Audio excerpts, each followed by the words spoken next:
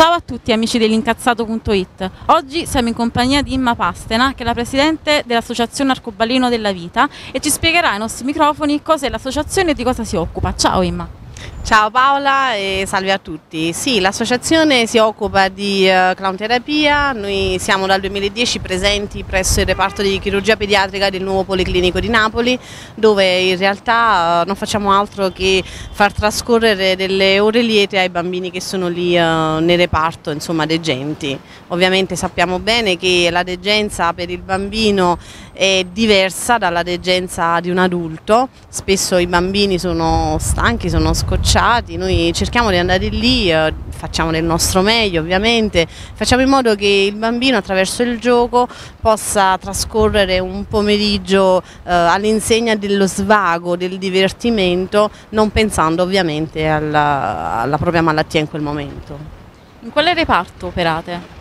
Noi operiamo principalmente nel reparto di chirurgia pediatrica eh, dove, ecco, ci tengo a precisare, siamo molto supportati dal primario, dal professor Settimi, dalla caposala, dalla signora Anna Maria Doro eh, e soprattutto poi dalle, dalle, infermiere che ogni volta che ci vedono sono sempre molto contente perché sanno che i bambini ci aspettano e noi non possiamo mancare a questi appuntamenti.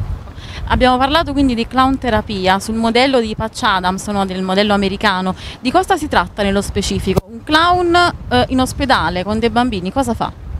Un clown eh, in ospedale con i bambini porta eh, soprattutto un sorriso, porta colori, eh, porta tutto quello che è il gioco, perché sappiamo bene che il bambino gioca, vuole giocare, vuole svagarsi con la mente ed essere proiettato poi nel mondo delle favole. Tant'è vero che eh, molti dei nostri, eh, nostri, clown, i nostri volontari sono addirittura dei cantastorie. Eh, il bambino attraverso la favola raccontata da un un volontario vestito col camice variopinto, il nasino rosso e il cappellino colorato è attratto molto e quindi si proietta automaticamente insieme al volontario stesso nel mondo dei sogni.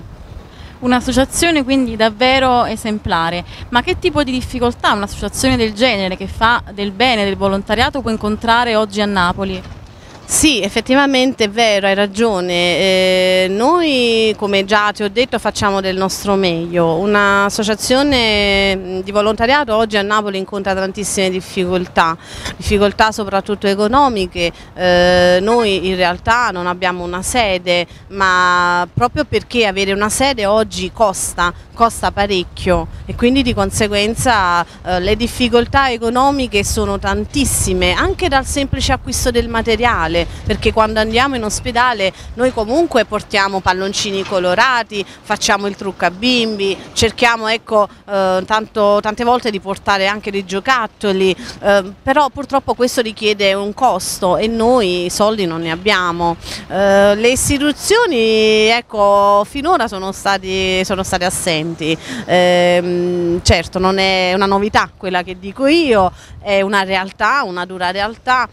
e noi ecco, tutto quello che abbiamo fatto in questi anni l'abbiamo fatto sempre di tasca nostra, non abbiamo mai chiesto nulla a nessuno, ma proprio perché anche se chiedevamo secondo me non, non avevamo nulla, ecco. quindi a questo punto abbiamo pensato proprio di non chiedere nulla. Voi come associazione in passato avete anche, siete stati anche promotori di due progetti molto importanti, che, come hanno risposto le istituzioni e che fine hanno fatto questi progetti? Ma guarda, se ti rispondo che mh, loro hanno soltanto dato il patrocinio morale, penso che mi crederai. Quindi mh, sì, è vero, il, noi ci tenevamo tanto a mettere in pratica eh, nel migliore dei modi questo progetto patrocinato dal Comune di Napoli per eh, l'emergenza freddo, quindi rivolta ai senza fissa dimora della città di Napoli. Eh, avevamo tanto il desiderio di ehm, eh, ecco, dare il nostro supporto morale soprattutto a queste persone che per scelta di vita, per conseguenze legate al proprio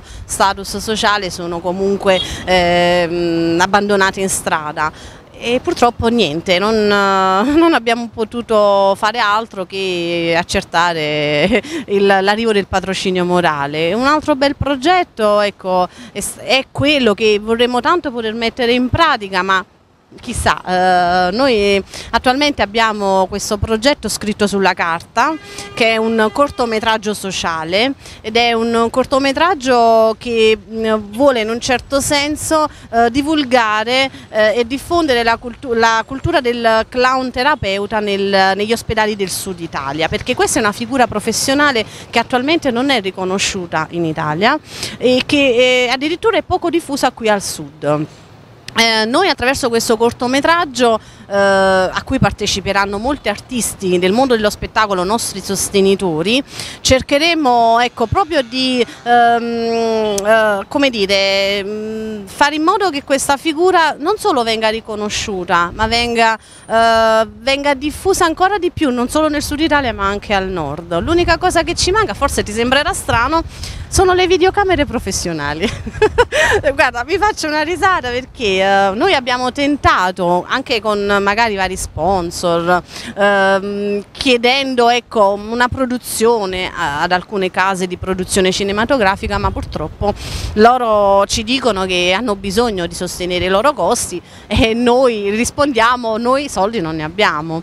L'unica cosa ti ripeto manca quello perché in realtà abbiamo eh, gli artisti che gratuitamente si sono messi a disposizione e quindi saranno partecipi durante questo cortometraggio, abbiamo eh, Silvio Laurenzi che mh, mm, un grandissimo stilista di Cinecittà che farà gratuitamente i costumi, ma l'unica cosa che ci manca sono proprio le videocamere professionali, cioè quelle che sono proprio negli studi televisivi, quindi a questo punto se mi permetti Paola io faccio una appello a coloro che in questo momento ci stanno uh, guardando se ci potete aiutare, noi abbiamo bisogno al massimo di due, due telecamere, non di più, per fare in modo che questo cortometraggio possa essere proiettato anche durante i migliori festival a livello internazionale.